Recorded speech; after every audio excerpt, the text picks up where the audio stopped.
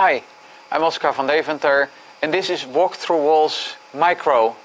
I've been experimenting uh, with uh, the Walk Through Walls concept in previous videos where I needed to test uh, getting holes uh, and the little ball uh, going through the holes. So I thought, what is the most um, miniature version that I could make? And it turned out to be a nice puzzle. Uh, um, it's a dexterity puzzle, but once you know how to solve it, the dexterity is quite uh, doable. What you're seeing here is you see a little ball that is moving in the outer circle, and there is a wall that the ball can get uh, through. And uh, I hope you can uh, you can see the hole here. It's very subtle, but yeah, the, the, the, there is a hole that you can see, and the ball can be pulled through the wall. So now the ball is uh, in, uh, we can see it at the back, it's at the um, in more inner circle. And then there is another hole, and I'm using the magnet here.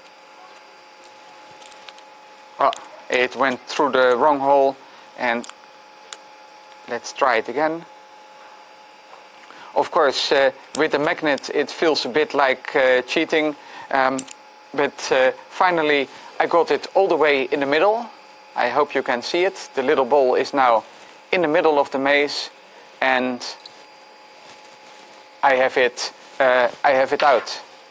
So uh, getting the ball back in is much easier. You just put the ball in the middle, you shake it through the one hole, you shake it through the other hole, and it's out there again.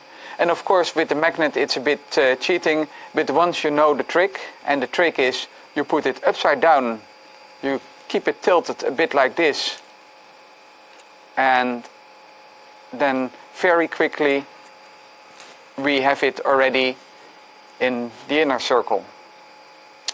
So as I uh, know, uh, um, well, you know that we print. I printed this on my uh, printer and the advantage of this uh, puzzle is that you can print so many of them at the same time because they're so small. So my question is, if you're trying to print this yourself, how many of these can you print in a single print batch? Thank you for watching.